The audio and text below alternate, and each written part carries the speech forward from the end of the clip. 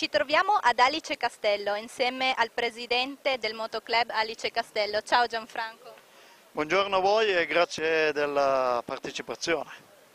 Il primo motoraduno nazionale del vostro motoclub, ma ne avete fatti anche altri. Come sta andando questo motoraduno in particolare? Sta andando benissimo, c'è partecipazione sia tesserati FMI sia tesserati eh, motociclisti liberi e molto soddisfatto. Adesso ci prepariamo per fare il motogiro, dove andremo? Andremo a Piverone, che i ragazzi della Proloco di Piverone in collaborazione mi organizzano l'aperitivo. Grazie Gianfranco. Ok, grazie a voi, ciao e grazie che siete intervenuti.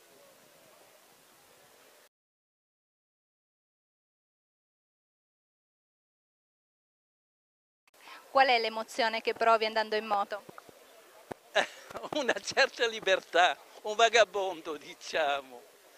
E, e, la moto per me è veramente, c'est un'evasione. Eh, come posso dire, a volte se ho mal di testa salgo in moto e tutto ça se passa, se ne va. È veramente qualcosa che, che non posso fare altrimenti.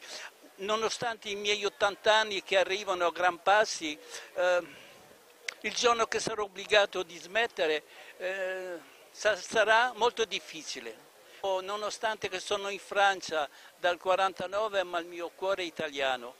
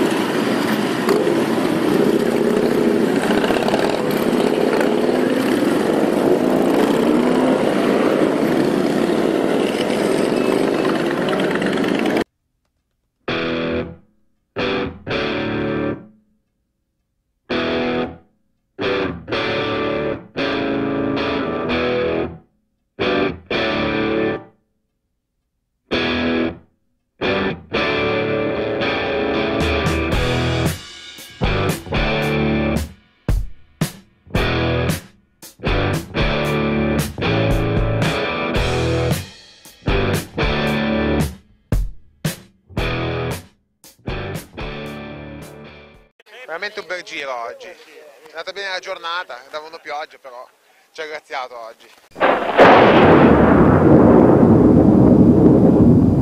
Presidente, com'è andato l'aperitivo? Sono i motociclisti che ce lo devono dire, a me penso bene, noi siamo contenti di averli ospitati, speriamo che gli abbia fatto piacere che vogliano tornare il prossimo anno, noi saremo qua pronti a riceverli, sempre un piacere avere loro qua con noi.